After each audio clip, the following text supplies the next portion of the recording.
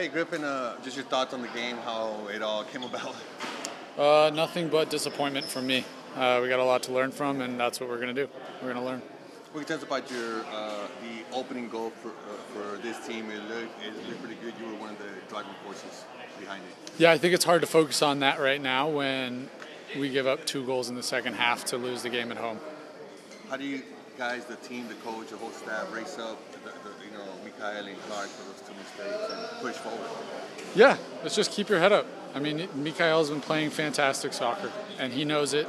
The coach knows it. The team knows it, and it's just about keeping that head up and, and keep moving on. Shit happens.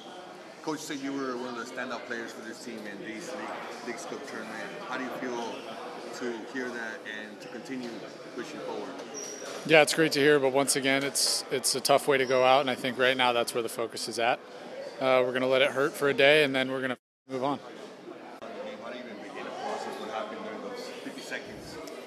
Yeah, uh, it's a tough one, tough one to swallow. Um, think we struggled a bit in their build and trying to get pressure on them. Uh, we definitely fell into a bit of a shell, and it's kind of tough for us to get out of that. We kind of just accepted not having the ball instead of kind of taking on us to try and get it back. And when we got it, really valued that. And then I mean, once the two goals went in, you saw we got some chances. We actually started playing again. So I think that mentality of just when we don't have it, got to get it back, and we can't settle for that shell and just letting them pepper us.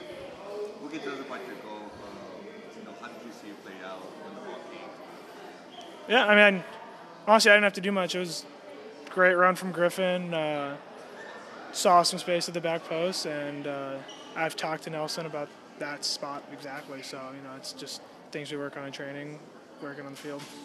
As a team, how do you guys raise, you know, Micael and Clark because of those two mistakes that, made? How do you? Yeah, I mean it's it's uncharacteristic of them, and I think you won't see them do that again. I think in the game of soccer, like things happen, and for them, like it's a bad night, but I don't think that's who they are as players, and I don't think you're going to see that from them. I think they're going to pick themselves up.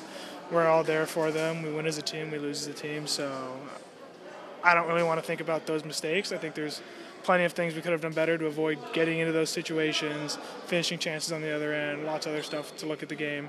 Um, those mistakes aren't going to be things that happen game in, game out. Eh, para que no caiga el ánimo. No, no, el grupo está fuerte, está firme. Yo creo que eso es lo más importante, que cuando un compañero se equivoca, todos nos equivocamos. Y bueno, hay, que apoyarnos entre nosotros y seguir trabajando. Había mucha ilusión por lo que significaba ganar hoy, eh, la expectativa que había por el partido del viernes. Eh, ¿Cómo asimilar eso? Sí, mucha ilusión por, por, lo que veníamos haciendo. Yo creo que veníamos haciendo un muy buen partido. Eh, por ahí, por momentos, estábamos jugando muy bien y yo creo que eso, eso nos afectó más de lo que es la derrota. ¿Y en lo positivo qué les deja este torneo al equipo del No, mucho, mucho, porque competimos, competimos bien, jugamos bien. Yo creo que, que eso ayuda mucho al grupo y el día de hoy apoyó a la afición del Dynamo y veíamos que también te apoyaban a ti y que querían que entraras. ¿Qué sientes cuando ves el público a hallar tu nombre que entres a jugar? Bueno, muy feliz, la verdad que sí. agradezco mucho a la afición por, por venir a apoyar. Tan, jugamos un poco tarde hoy.